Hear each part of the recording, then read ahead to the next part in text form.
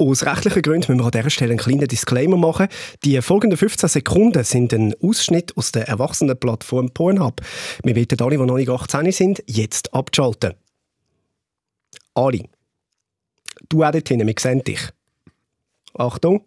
Here's Thiago lifting another one in, and they're looking for more goals. And here's Coutinho, and he's got another one. This is ridiculous. It's eight.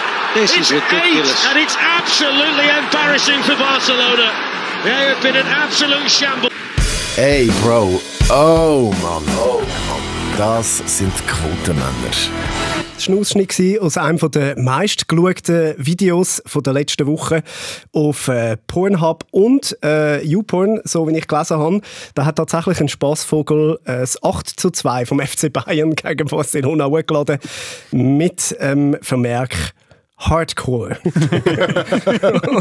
das, ist, äh, das ist es wirklich gewesen, muss man sagen. Es ist ja nicht das erste Mal, was so ein Spaß passiert. Das ist äh, schon, schon mehrfach vorgekommen. Äh, zum Beispiel damals, wo der Boris Johnson die Wahl gewonnen hat in äh, Großbritannien, hat auch, hat auch einer so hochgeladen, äh, seine, seine Speech mit dem Vermerk ähm, äh, Blonde Dump fucks whole country. ich ich finde es wahnsinnig lustig. Das ist ja. mega lustig. Aber es gibt wahrscheinlich immer einen, der es ernst nimmt und da wirklich aus sexuellem Anlass noch schaut. Oh Gott, bitte nicht. Es gibt für alles einen Fetisch. Also, ja, das stimmt. Und ihr seid auch ganz grusige. Ihr hört jede Woche unseren Podcast. das ist, glaube ich, wirklich noch schlimmer, als wenn man Binge-Watching macht auf, auf Pornhub. Äh, wir haben aber wieder schöne Sachen vorbereitet. Wir reden über die Zuverlässigkeit vom BAG, über Oktoberfeste außerhalb von München, über Schutzmaßnahmen im Eishockey und neue Wörter im Duden. Wir, das sind der Aaron Herz, Grüezi der. Michael Schweizer. Hallo. Ich bin der Stefan Büsser. Ihr kennt uns von Glanz und Gloria. von letzter Woche. nicht, Also eben nicht, ja. Eben nicht. Eben nicht, gell? es, Nein, ist, nein. es ist nichts passiert. hä? Nein. Wir sind im Glanz und Gloria gekommen, muss man vielleicht sagen. Mhm. Und die Reaktion aus meinem äh, engen Umfeld, null. Nix. Niemand. Niemand. Nicht? Nein. Bei dir, Aaron? Moll, bei mir. Meine Mutter hat sich gemeldet. Wirklich? Ja, also sie hat es mir gesagt direkt. Jetzt hatte ich gerade in Glanz und Gloria gesehen. Hast du gut ausgesehen? Ja, und da, wo ich gesagt habe, da interessiert doch niemand. Ja, ist wie im Podcast. Ist- Ja. ja. Ja, aber das ist auch exakt das Feedback, das ich habe bekommen von meiner Großmutter auf der Donnerstagjas. ich muss immer am Freitagmorgen muss ich ihr anrufen und Sendekritik hier holen. Und dann sagt sie, äh, ich habe den Bart nicht gut gefunden. Und das ist dann so das, ist dann das Gespräch. Das verwundert mich jetzt beim Donnerstagsjahr. Ja. Nee. Also weißt du, die Inhalte die sind wichtig. Das, das, das ist essentiell für die News, was dort passiert. Was ist denn inhaltlich passiert in eurem Leben diese Woche, Schweizer? Ähm, bei mir ist jetzt definitiv passiert. Ich habe das erste Mal in meinem Leben bin ich aus dem Restaurant gelaufen und habe vergessen zu zahlen. Ui. Und in der gleichen Woche bin ich in der Tankstelle losgefahren, ohne zu zahlen. ja. Beim Restaurant habe ich es gemerkt, bin dann sofort zurück, habe es erledigt. Bei der Tankstelle da kommt dann irgendwann kommt dann, äh, kommt das Telefon und dann schickt es dir ein, ein Ja. Foto von dir, wie du an der Säule stehst. Ja, und nachher wegfährst. Ich auch schon mal bekommen. Ich bin rein, ich bin rein zahlen, ich habe noch etwas zu trinken gekauft und bin nachher dann zurück zum Auto. Du hast aber vergessen zu sagen, Süden 1. Ich bin überzogen, der hat mich gefragt, haben sie gedankt und ich habe gesagt, ja. Da gehört die Polizei noch viel so sprechen. Ja, bin ja. überzeugt. Aber weißt du, weißt, ob jetzt da irgendwie 7 Franken auf dieser Kreditkarte drauf sind oder 70, das macht für mich keinen Unterschied. Das spielt keine Rolle. Äh, Spesen fürs SRF, egal. Natürlich, natürlich. Das mit dem, mit dem Restaurant nicht so erinnert mich an eine, an eine schöne Geschichte aus meiner Kindheit. Wir äh, sind aber in Flumsenberg in die Ferien gegangen. Jawohl. Und dann so in der Das ist Hochsaison... trotzdem eine schöne Erinnerung. Das ist eine schöne Erinnerung. Hey, ist gar nicht so schlecht dort. Und dann haben wir, haben wir zu Mittag gegessen, ganze Family, vier Leute. Äh, Mami und Papi haben, glaube ich, noch ein bisschen Schümli-Pflümli gehabt. Und vielleicht auch einen zu viel, man, man weiß es nicht, weil auf jeden Fall sind wir dann auch einfach gegangen und sind dann am Skilift angestanden, so in Mitte, es war Hochsaison gewesen, von gefühlt etwa 200 Leuten, wo plötzlich der Beizer mit dem Schneetöpf fährt und der Serviertochter hinten drauf und wirklich durch alle Leute durchschreit, wer hat am Tisch 15 nicht gezahlt? Meine Mami schaut den Papi und sagt, du hast mir gezahlt. Und der Papi, oh Scheiße, ich habe mir nicht gezahlt. und dann haben sie sich natürlich gemeldet, weil ja, also meine Serviertochter hätte uns ja noch gekannt, oder? Und dann sofort, ah nein, Entschuldigung, sind wir. Dann musst du aus diesen Leuten wieder, ihr wisst, wie es ist, wenn man ansteht ja, am Skilift, dort ja. wieder raus, ist recht unangenehm, Ja, ja. oder? Auch aus dem Anlass. Sehr, Aus dem sehr, Anlass dann sehr besonders. angenehm. Das schauen dann Sehr alle. schön. Und, äh, und Papi ist das so hochgradig peinlich. Ich glaube, er hat der Serviertochter 50 Stutz Trinkgeld gegeben, weil es einfach wirklich so nicht recht war. Vater Büsser nach zwölf Schümli, Flümli vergessen, irgendwie die Rechnung zu sagen. Äh, ist schon gut, wir können los. Und dort haben sie auch gemerkt, dass Gino bei den Beizen Ungefähr so. Ja, aber ich kenne das, das ist mir auch schon passiert. Ich bin schon in einer Beiz gehockt, Ja. am Nachmittag heiß getrunken, laufe nachher vorne an der Beizkin vorbei und sage noch, ich wünsche einen schönen, Schönen Tag, Adi. Und sie sagt, ja, Ihnen auch, Adi. Und dann stehe ich draußen und merke so, ah, ich habe gar nicht gezahlt, gut, kehren wir nochmal um. Ja, siehst, ich habe das Problem, mir zahlt man ja normalerweise das Essen, wenn ich im Restaurant bin. Ich muss, Das ist so. muss ja, ich muss das ja nicht mehr selber machen. Ich habe ja Leute, die das für mich machen. Du hast einfach wollen kopieren, oder? Du hast einfach Wahrscheinlich. gehofft, Ja, ich- irgendjemand wenn der zahlt das schon. Das, wenn der Büsser das kann, dann Ja. kann ich das auch, aber es hat nicht funktioniert. Ja. Für die, die jetzt nicht rauskommen, das ist äh, eine kleine Geschichte aus der letzten Folge, damit das Queer-Teasing auch noch gemacht ist. Äh, das äh, könnt ihr euch ja noch mal anhören, wenn ihr Zeit und Lust habt. Der, der Schweizer hat jetzt viel Zeit gehabt. Was, was hast du im Fernsehen geschaut letzte Woche? Ähm, ein äh, Jubiläumskonzert. Was ist los? Ihr wisst es ja. Wir wissen, Ja, leider ja. wissen wir Das Jubiläumskonzert äh, im Schweizer Fahrtfernsehen ist es gekommen, äh, 20 Jahre Gölle. Und das war einfach nochmal schön. Gewesen. Der Mann der hat einfach Lieder geschrieben, die einfach unter die Haut gehen, die Hühnerhaut machen. Er hat eine grossartige Band dabei gehabt. Und die Stimmung dort in dem Hallenstadion, er hat zu Recht dreimal hintereinander äh, mit dem Konzert das Hallenstadion ausverkauft. Da soll mal irgendwie so ein 076 kommen und das vormachen. Oder respektive nachmachen. Hör auf, keine Chance. Falls ihr das Konzert demnächst auf YouPorn findet, wir wissen, wer es aufgeladen hat. Oh Gott. Ich liebe ihn, ich stehe dazu. So, okay. Was willst du noch von deiner Woche erzählen, Arno? Ja, Arno, genau. ich werde ich werd immer wieder mal Arno genannt. Ist ja jetzt nicht so komisch. Aaron, Arno kann ja passieren, oder? Aber die, die Woche ist es wieder mal passiert. Per Mail hat mir jemand Arno genannt. Dann habe ich darauf hingewiesen, hey, heisst übrigens Aaron. Das nächste Mail, das kommt, ist, heisst wieder Hoi Arno. Okay. Weißt du, wenn passiert, das hat die ganze Zeit. Am Arno del Curto. Ja, so ein Wahnsinn. Und das seit Geburt. Nicht? Das ist eine Katastrophe, dass die Leute den Namen Aaron nicht, sich nicht können merken können. Ja, aber es hat mal eine ganz, eine ganz eine grö- grössere Story gegeben. Ich bin im Fußballtraining, bin Junior und bin gerade zum Eis gekommen. In die Viertliga, notabene. Ho, ho, ho. Okay. Du hast, du Grosse hast mal, du hast Karriere. mal Viertliga gespielt. Ja. Hey, beeindruckend. Und dann gehen einmal so die Lokaljournalisten um und gehen bei allen Mannschaften so ein kurzes Porträt machen mit einem Föteli und dann nehmen unter den, unter den Föteli so von den Spielern.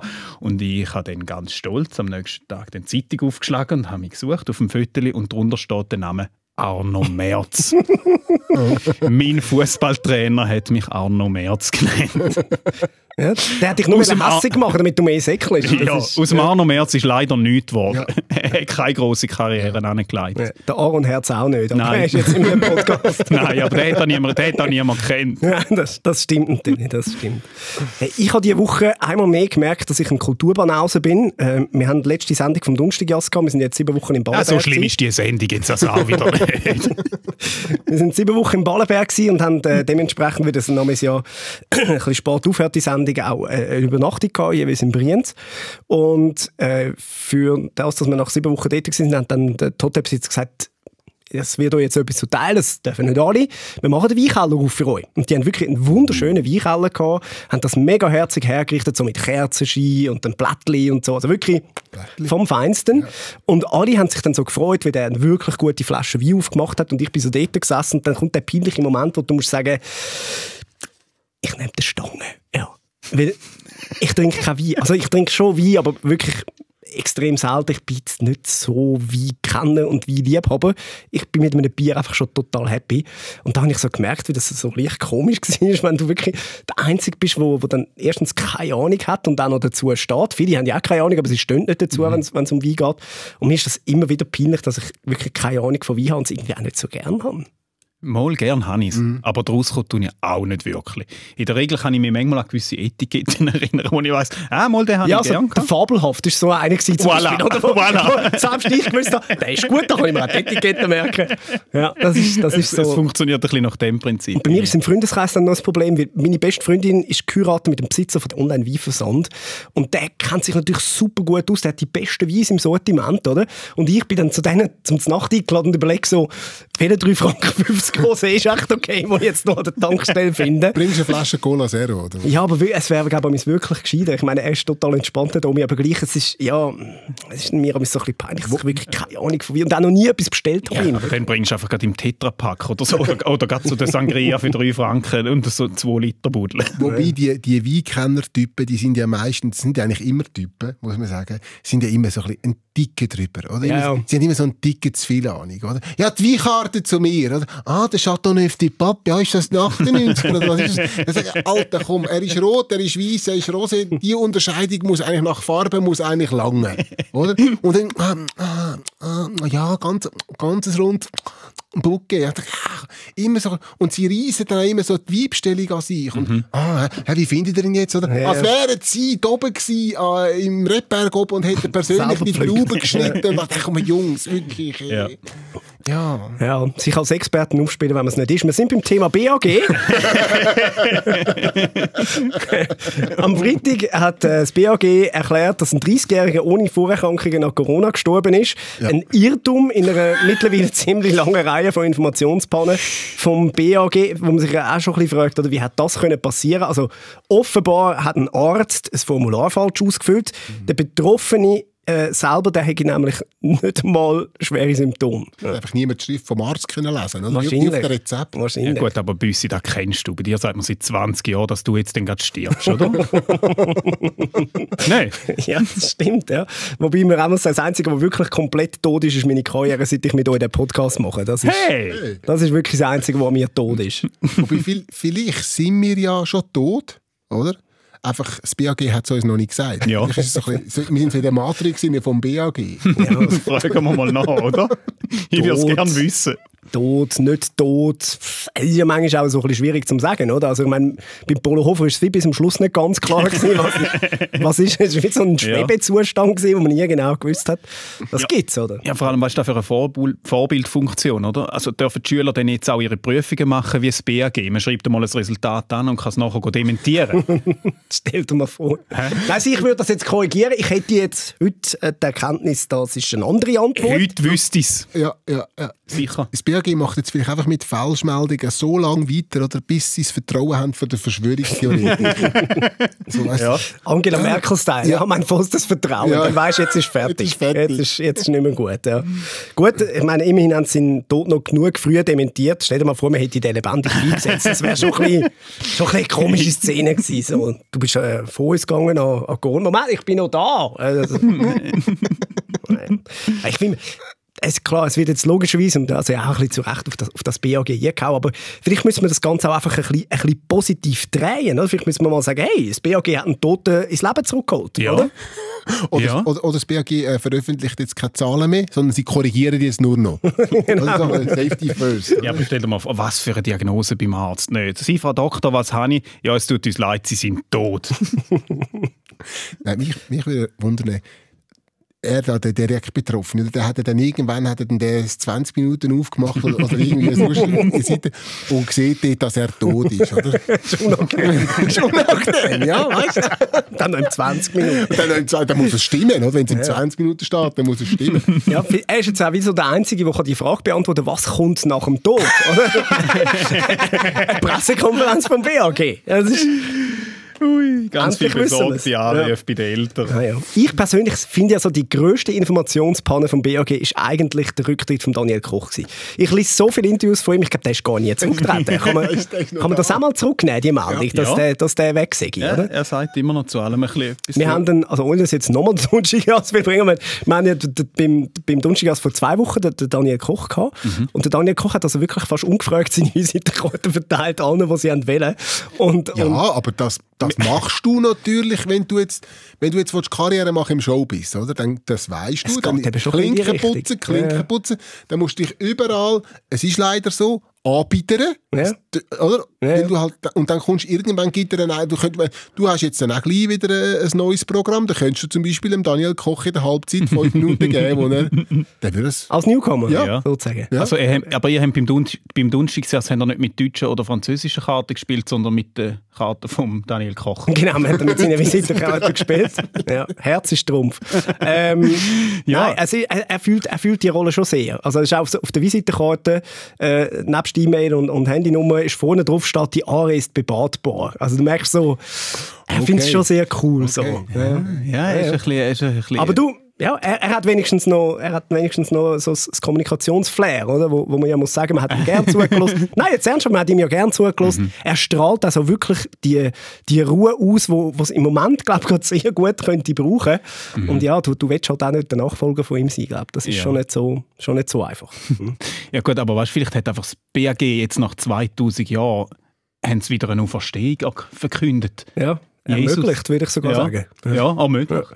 Die Frage ist doch jetzt, oder wie viele Falschaussagen macht Donald Trump auf einer Skala von 1 bis BAG? Kommt auf Farb CNN oder Fox News Je nachdem. Ich glaube, neue Faustregel, wo wir uns wirklich alle daran halten müssen, Informationen vom BAG zuerst 48 Stunden warten, bevor man es glaubt. Das ist, das ist die neue Quarantänezeit. Komm, die sollen doch einfach die Wetterschmöcker engagieren. Die haben eine ähnliche Trefferquote. Oder? Und es macht noch Spass. Ein bisschen falsch sein muss es. Wobei, wir müssen aufpassen, gell? jetzt machen wir uns lustig über den Typ, der zuerst gestorben ist, nachher wieder. Es ist durchaus möglich, oder, dass Ende Woche das BAG kommt und sagt, er ist jetzt doch musst immer mit dem Schlimmsten. Weißt du nie? Weißt du nie? Komm, wir machen Good News, nachdem es jetzt doch ein bisschen schwer wurde, dann ist am Schluss Good News für Sport- und Kulturfreunde und vor allem auch für die Familie Federer. Sie können wieder gemeinsam zu Nacht essen. Der Bundesrat macht den Weg frei für Grossanlässe. Die Tausiger-Regel, die geht. Ab Oktober dürfen wieder mehr als 1000 Menschen Anlässe Ja. Moment, Moment, Moment. Wir reden hier vom BAG. Da hat sicher einer beim Formular etwas falsch angekreuzt. Wir, wahrscheinlich haben sie sagen, die Einer-Regel kommt, nicht Tausiger. In Zürich gibt es ja die Sonderregel, jetzt müssen 1000 Leute müssen an einem GC-Match. Ah. GC wird so vorbei. Ja, ein bisschen, aber Für mich als Fan sowieso. Die kommen wieder. vielleicht, vielleicht ja, ja. einmal gedacht. Ja, ja. Also die Witz nicht geht. Gut. Schön. Danke vielmals, Haron. Jetzt dachte man, eine Sekunde dachte ich, es kommt ein bisschen verborgen mit mir, aber nein, ist okay. Unter keinen Umständen. Nein. Aber ich meine, der Entscheid kommt schon rechtzeitig. Es ist bald äh, September und damit Zeit für das Oktoberfest, was ja Sinn macht, dass man die im September hat. Nein, ich meine, das Oktoberfest auf dem Bau- Bauschanz in Zürich, das ist für uns Zürcher also die einmalige Chance, das grösste Oktoberfest von Europa zu haben. Ja, und Zürcher leicht irritiert. Haben wir das nicht schon gehabt? Haben wir das nicht schon gehabt? Aber Oktoberfest ist, ist schon ein bisschen 2009, nicht? Also ich meine... Nein, ernsthaft. Jetzt Zeit lang. Mittlerweile ist es wirklich geil. so, dass jede Garage im Herbst noch irgendwie zwei Autos rausräumt und vier Festbänke reinknallt Ja. und dann die das Oktoberfest äh, Karosserie äh, Brühweiler macht, oder? Und dann äh, zwängt sich dann irgendwie der Hans-Peter, zwängt sich in so eine, in so eine dreckige äh, äh, Oktoberfest, wie sagt man, so eine Lederhose aus dem Chibo für 39 Franken, oder? Schüttet sich vier Liter Bier in den oh, steigt auf den Bauch und geht wieder heim und sagt, was ist das für ein toller Abend gewesen. Ohne kulturellen Hintergrund. Ohne Kultur. Ohne kulturellen Hintergrund. Also es ist bitte, ja, nein, nein, nein, nein, nein, nein, was hat da ohne Ja, Kultur? was? Also hast du schon mal zum Beispiel Songtext von Mickey Krause angelassen? Das ist Lyrik auf ganz hohem Niveau. Ja. Also wenn dann Finger in Po Mexiko keine kein, äh, keine Lyrik mehr ist, dann weiß ich es auch nicht mehr ja wie. gut, das ist jetzt, das ist jetzt eine Ausnahme. gewesen. Ich weiss noch, 2008 oder nein, 2007. 2007 bin ich am Oktoberfest gsi. Da, damals bin ich bei Radio 24, gsi, ein grossartiger Zürcher Radiosender. Und bin drei Wochen da gsi und dann hat es geheißen, äh, wir brauchen noch ein paar Töne vom, vom Anzapfen. Christa Rigozzi macht's, macht den Anstich. Natürlich, wer Das sonst, ist schon, das ist 2007. Gehst du die sammeln? Und dann bin ich dort raus. äh, Zusammen mit dem Sascha Wanner, der vielleicht der eine Ah, oder andere kennt. Der Grüße. Mod- Moderator bei äh, Energy Zürich. Grüßli, liebe Grüße an Sascha Wanner. Dann sind wir zusammen dort raus. Und dann die Töne haben wir irgendwie 10 Minuten im Sack gehabt, haben noch schnell an der Festbänkchen gefragt, was trinken ihr? Alle haben gesagt Bier. Erstaunlich gewesen. Oh. Nur der Stefan Büsser hat ein Glas Rot. Ja, richtig. Und dann sind wir dort eingeladen worden vom Veranstalter. Und ja, haben dann halt äh, etwas getrunken, etwas gegessen, noch etwas getrunken, noch etwas getrunken, noch etwas getrunken. Irgendwann läutet das Handy, der Sender. Du, wo bleibst du mit diesen Tönen? Was für Töne? Was für Töne? Oder?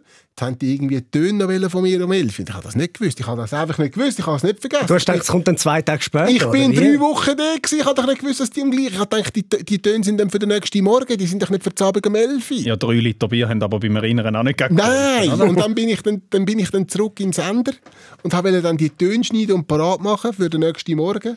Aber anstatt zwei Bildschirme habe ich irgendwie vier oder noch mehr Bildschirme gesehen auf dem Tisch. Ist nicht gut ausgegangen. Dann bin ich zuerst einmal beim Musikchef unter den Tisch untergekrochen und habe das Physik Mal gemacht. gut geschlafen. Ja. Und dann irgendwann am Morgen um drei kommt der Morgenshow-Moderator rein, oder? Macht das Licht an und ich rufe unter dem Tisch, «Er macht noch Licht!» Er hat Schock von seinem Leben gehabt. und dann bin ich vorgekrochen, äh, alle Töne sauber geschnitten, bin ins Taxi und heim. Schön. Ja. Und dann am nächsten Morgen bin ich dann auf dem Weg an die Redaktionssitzung, die wäre am 10 Uhr gewesen. Und dann im Tram kurz vor dem Radio läutet das Telefon äh, mit der Radio 24-Nummer. Ich nehme ab. Äh, ja, äh, schon. Äh, Michi, wo bist du? Oder? Sagt äh, die Assistentin vom, vom, vom Programmleiter. Ich so, ja, ich bin gerade unterwegs. Ja, äh, der Programmleiter sucht dich. Mhm. Ja, wieso denn das? Wieso denn das? Ja, kannst du dir etwas vorstellen? Ja. Dann bin ich rein, gerade direkt, ich meine, ich bin drei Wochen, mal- ich bin drei Wochen in diesem Laden gewesen, ungelogen. Dann bin ich in das, Team, in, das Büro rein vom Programmleiter, also abhocken. Dann wollte er gerade anfangen Fragen zu stellen. Ich so, Moment, da haben die ganze Geschichte erzählt. Dann hat er gesagt, «Schau, ich habe dich eingestellt, weil, du, weil ich das Gefühl habe, du bist ein geiler Sieg. Und jetzt wissen wir, du bist ein geiler Sieg. Nein, nicht ganz so. Gesagt, Ich habe dich eingestellt, äh, wir müssen, du bist ein geiler Sieg, aber schau, das darfst du einfach nie mehr machen. Das darfst du nie mehr machen. Also, ja, ist gut, mach es nie mehr. Und von dann an, weiß gar nicht, noch zwei, drei Mal gemacht, aber Und dann hat er zu SRF müssen. danach dann müssen gehen. Und schafft heute nicht mehr bei der Coolen, sondern ist jetzt beim SRF gelandet. So einfach ist das. Ich liebe Oktoberfest. Ich, hab, ich bin ja mal DJ gewesen. Ich tue das immer mal wieder droppen, so wie der Michael Ah. Schweizer gerne erzählt, dass er eine Band hat. Ja, Ja, die ist leider gar nicht mehr. ist jetzt aber Band. so 1000 Anlässe wieder kommen, jetzt dürfen wir auch wieder spielen, Ja, oder? Der DJ. Kleine Sache. Hast, hast du einen DJ-Namen? Äh, DJ, ja. Nein, ja, Stefan Büsser. Ich vermarkte mich, weißt du? Oh, verstehst du? Das ist, Alles hat ein Brand. Nein, ich habe wirklich mit 19 habe ich so nebenbei für amigs 200 Franken am Abend äh, 8 Stunden aufgelegt. Ja, mittlerweile Und- kommt er nur noch 100 über. Es wird halt Qualität, wird halt zahlt. Und, äh, und jetzt mache ich wirklich einmal im Jahr, das ist mein einziger DJ-Auftritt, den ich noch mache, ist am Oktoberfest in Zürich. Jawohl. Wo ich äh, bei, bei Hanselmanns Wiesen einfach den DJ mache und, und äh, gegen Bezahlung von äh, einem Zendertisch, wo einfach meine Kollegen können gratis trinken können, ähm, gehe ich dort gehen spielen. Und ich finde das großartig. Ich liebe das Oktoberfest. So einfach wirklich einen Abend einfach nur dumm tun. Das soll einer sagen, er sei nicht, er sei nicht kultiviert. Vor allem, dass, dass du zehn Kollegen findest. Das, das sind ja, oder bist am Schluss einmal noch voraus und sprichst irgendwie Leute, also ein paar Touristen. Äh, sorry, haben die nicht noch schnell zwei Stunden Zeit? Äh, nein, was wollen sie von uns? Komm jetzt da rein. Nein, wir wollen das eigentlich nicht. Hocken jetzt da ab. Nein, aber es kann einem wirklich so den Ärmel reinnehmen. Wir sind einmal auf München gegangen, das war im Frühling und sind dort einfach, dort, wo die Wiesen ist, sind wir angefahren und haben einfach gefunden, wir gehen dort mal schauen, wie es dort so aussieht. Voilà, es war Frühlingsfest gewesen, das Pendant zum Oktoberfest. Einfach alles kleiner, es hat aber ein grosses Zelt dort. Wir haben gefunden, ja, also gehen wir mal rein, wir beide auch nicht Oktoberfest-Typen. Nach zehn Minuten sind wir etwa auf den Tisch gestanden und haben Humpa Humpa geschrauen und wir sind die Letzten die es aus dem Zelt rausgeführt haben. Ja. Securitas. Der ganze Text ist übrigens Humpa Humpa Tetere. Aber das ist, äh, das ist Ich anderes an dieser Stelle noch ganz einen kleinen Geheimtipp von Michael Schweizer. Oktoberfest München, ah, vielleicht eher nicht. Wenn ihr mal wirklich wenn ihr an ein grosses Fest, oder, wo aber nicht ganz so kommerziell ist, wie das Oktoberfest, wo es irgendwie nur Australier und Italiener haben, die unter den Tisch gehen, dann geht man nach Straubing ans Gäubodenfest. Und das mal googeln. Gäubodenfest, Straubing, das. Kommst du dort mit dem Stand-Up-Paddle hin? Ja, sicher. Das klingt so nach etwas für die unteren 10'000. Nein, nein, das ist, ein, das ist einfach ein richtiges Volksfest. Oder? Das, ist, das ist so ein, ein Städtchen, vielleicht so gross wie Winterthur, vielleicht ein kleiner. Und, und dann ist die ganze Stadt ist in, der, in der Tracht unterwegs. Oder? Und dann ist der Kilby und, und Festzelt und alles. Das ist wirklich toll. Da, da erlebst du es noch in Reinkultur, nicht einfach der Kommerzabriss am Oktoberfest in München. Es ist so. Ja. Das ist der Kulturredakteur Michael Schweizer. Wir kommen zum nicht Sport. es ist nicht recht. Wir kommen zum Ja, Sport. ja, ja. Da hat es ungewöhnliche Bilder gegeben im Testspiel zwischen den Rapperswil Jona Lakers und den ZSC Lions. Die Hockeyspieler haben nämlich im ersten Drittel testweise mal so einen Maskenschutz angehabt. Ja, nein, Schutzausrüstung im Eishockey. Wo kommen wir denn da hin? Weicheier! Ja, als nächstes irgendwie Helm und Händchen. Ja. Wahrscheinlich. Ja. Was, was Sinn würde machen, wenn sie jetzt so in der Maske innen noch so eine Stahlplatte eingenäht hätten, die einfach die Zähne ein bisschen schützt, oder? Ja. Ja. Das aber wär mü- sinnvoll. Aber müssen sie jetzt Bodychecks, müssen sie die jetzt vorher anmelden? und dann darf man sich nicht mehr ins Gesicht schnaufen, wenn man Ja. sich zu nahe kommt. Aber Wie haben sie das nur im ersten Drittel angehabt? Also im, im ersten Drittel Maske, Maske, ja. im zweiten Drittel nichts, im dritten Drittel Beatmungsgerät. Es geht schnell. Alle angesteckt. Ja, ich meine, das BAG kommuniziert dann übrigens am Schluss vom Spiel noch das Resultat. Plus, minus zwei Goal. mehr, mehr oder weniger. So. Hey. Danke, BAG. Also ich glaube nicht, dass das kommt. Ich, also ich fände es auch ein bisschen weich, ehrlich Also, gesagt. Also, schön haben wir es getestet, aber also das macht für mich jetzt wirklich, und ich bin ja wirklich der Erste, der sich für Schutz einsetzt. Aber das macht Nein, das, ist, das ist Das ist, ja weil du einfach nicht auf dem Eis unterwegs bist. Vielleicht liegt es an dem. Ja, nein, aber das ist ja wie im Fußball, oder? Sie dürfen sich nicht umarmen nach einem Goal, Ja. oder? Äh, aber sie dürfen sich gegenseitig tackeln oder irgendwie schnell in den Nacken speuzen oder so. Äh, Entweder lässt es zu und sagst ja und dann aber mit allem, oder? Oder du sagst nein, es geht nicht. Aber mit Maske spielen oder man darf sich nicht umarmen oder, man darf, oder die Spieler hocken mit Maske auf der Bank und nachher dann gehen sie auf, aufs Spielfeld und dort berühren sie sich und das, das, ist, das ist ein Witz. ja, ja. Also, es geht um, um Verhältnismäßigkeit Ja. am Schluss vom Tag. Oder? Ja, gehen alle auf Nummer sicher. Ihr müsst ein Schutzkonzept haben und dann Ja. bringt man auch eins, oder? Wo dann niemand abnimmt. Davon, das Wort Schutzkonzept, ist das im neuen Duden? Ich weiß es nicht, aber der Duden hat ja äh, tatsächlich ein Update rausgegeben. Die passen sich da am Wandel von der Zeit an. Auch in diesem Jahr, der 28. und somit die neueste Auflage, hat 3000 neue Wörter mit drin. Unter anderem Flugscham, Elektroscooter, Lifehack oder Influencer. 3000 neue Wörter. Ja, ja, die alten noch nicht einmal können. Gott verteile nochmal. Da kommst du nicht nach bei dem Sachen. Mich interessiert nur, heißt jetzt das Virus oder der Virus? Das ist eigentlich Und heißt infizieren oder infizieren? Ich glaube, infizieren. de desinfizieren. Desinfizieren. Desinfiz ja. Gut, das BAG hat die Zahl schon wieder runterkorrigiert. Es sind nicht 3000 neue Wörter. Aber es gibt doch schon so Wörter, weißt, wo du auch äh, beim tausendsten Mal schreiben Mhm. nicht weißt, habe ich es jetzt richtig geschrieben. Wo ich immer muss go googlen. Weil ich habe jetzt nicht gerade einen Duden daheim, aber ich muss noch mal googlen. Parallel ist so etwas, wo Ja. kommt das zweite Oh. verdammte Huren an? Das heißt das zweite L. Oder Original oder Original, Ja. das weiß ich auch Ja. nie. Ja, oder Hund, Stefan Büsser. Also, besser gut. Origi Original. Machst du, machst, du, machst du dich jetzt gerade über meine Intelligenz? Ein bisschen. Wie schreibt man Intelligenz eigentlich? weiß ich auch nicht. In Hey, Zeiten nein. von Corona lasse ich mir sowieso von niemandem sagen, wie ich meine Wörter schreibe. Jawohl. Jawohl. Ich schreibe meine Wörter immer noch so, wie es mir passt. Sprachdiktatur. Das ist die Elite, die uns will sagen wie wir müssen schreiben müssen. Voilà, voilà, voilà. Ich habe das in einem YouTube-Video gesehen. Das ist wirklich so. Tube. Tube. Gut. To be or not to be. Ist, ist der 20er gehalten. Gut. Das ist ein Moment gegangen. Das ist okay. Ähm, wir kommen jetzt schon zur Comedy-Empfehlung. Ist es schon wieder so weit? Ja, ich schaue auf die Zeit. Das ist tatsächlich schon wieder so weit. Wahnsinn. Ähm, Jack Whitehall. Sagt euch der etwas? Bis jetzt nicht. Bis jetzt nicht. Äh, jemand, wo ist ich... Musikrichtung, Whitehall. Nein, das ist Dancehall. Dancehall. Fast das Gleiche. Ja, das neumodische Zeug, ich habe den Gölle, finde Ja, du bist, eben, du bist noch beim Göhlen. Ja. Du bist etwa 20 Jahre zurück. Ja, genau. Schön. Der Jack Whitehall, äh, kann man schauen, das neueste Programm I'm Only Joking, gerade frisch auf Netflix rausgekommen. Und äh, er hat dort äh, erzählt, dass er doch auch beim einen oder anderen Auftritt schon mal gescheitert ist. In dem Fall bei einem äh, ganz, ganz besonderen. The most I've ever bombed on stage was when I was booked to do Prince Charles's Christmas party. It was exactly as weird as it sounds.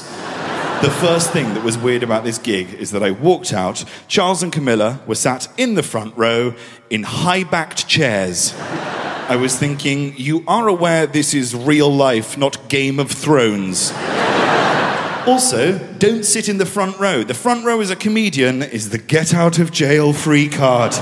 If the jokes aren't working, you talk to the front row. You ask them what they do for a living. I can't ask Prince Charles what he does for a living. He is the most famous unemployed man on the planet. What do you do for a living? Just sort of sit around, wait for my parent to die? Now, as a comedian, you know when you have had a bad show. You do not need to be told it. You especially do not need to be bantered by the future King of England. I was introduced to Prince Charles. Do you know what the first thing was that he said to me? I think next year we'll try a magician. ja, das stelle ich mir auch unangenehm vor. Ja. Äh, großartig. Jack Whitehall, unbedingt schauen auf äh, Netflix. Hat übrigens auch eine eigene Serie dort zusammen mit seinem Vater Michael Whitehall. Und er bringt dann immer so in die total unangenehmsten Situationen. Also sie sind so auf Reisen und sein Vater will einfach nie so Komfortzone verlassen. Und er bringt ihn dann irgendwie, eben, muss, muss irgendwie Aktmodel stehen und so Zeugs. Und also wirklich übelst ja. Es ist sehr, das sehr das hat es im Deutschen auch mal gegeben. Detlef muss Ja. reisen, hat das Ja. geheißen. Wo der eine, der nicht gern vorgeht und nicht gern reist, einfach muss reisen. Mhm. Und das war wirklich hilarious gewesen, wie der Stefan Büsser würde sagen. Wirklich so lustig. Genau. Wie heißt das? Äh, Jack Whitehall oder äh, Michael Whitehall. Okay, Vom Ricky Gervais gibt es Gibt's das hat auch? das auch gemacht. In England. Auch super. Schickt es den Kollegen auf China und weiß sie wo an, wo einfach, und Gott, es schießt ihn einfach nur an. Es ist dreckig und es stinkt und er regt sich nur auf. Was ich übrigens als Comedy-Tipp in der Vorbesprechung nicht durchgebracht habe, ich weiß nicht wieso, ist der Fips Asmussen. Ja, es tötelt ein bisschen. Ja, 82 ist er geworden und gestorben vor ein paar Tagen. Seine Witze sind schon vor ihm gegangen. schon weit vor ihm. Nein, das- was ist jetzt wieder gut? Der Fips Asmussen, das ist so der Gusti Brösmeli von Deutschland. Der Eben. erzählt was?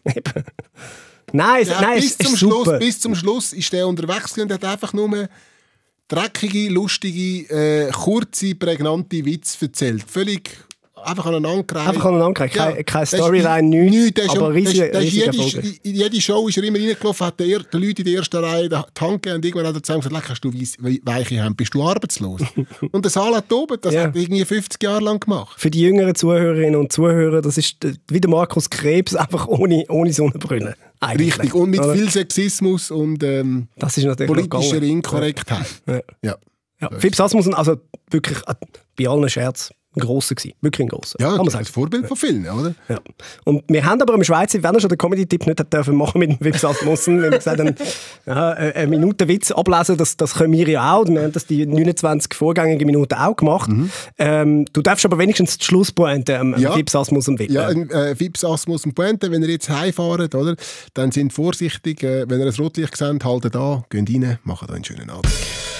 Das ist der SRF Satire Talk. Quotenmänner.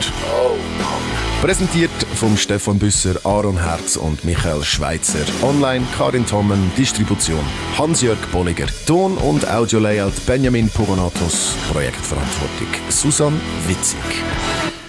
Der Fips Asmussen ist tot. Ja. Bist du sicher? Fragen wir das BAG nochmal.